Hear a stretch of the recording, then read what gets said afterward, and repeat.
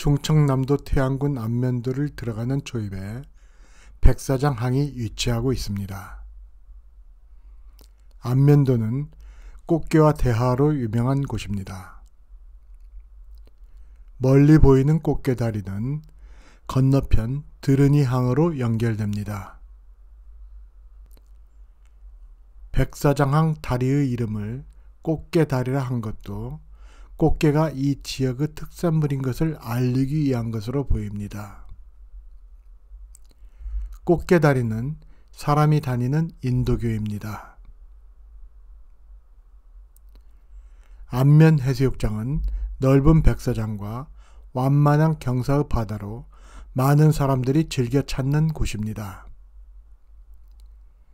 백사장 항을 지나 조금 지나면 안면 해수욕장이 나옵니다. 꽃지 해수욕장은 넓은 백사장이 할미 하라비 바위와 어우러져 그림 같은 풍광을 보여줍니다. 해변을 따라서 해당호가 지천으로 피어나 꽃지 해수욕장이라는 이름을 얻었습니다.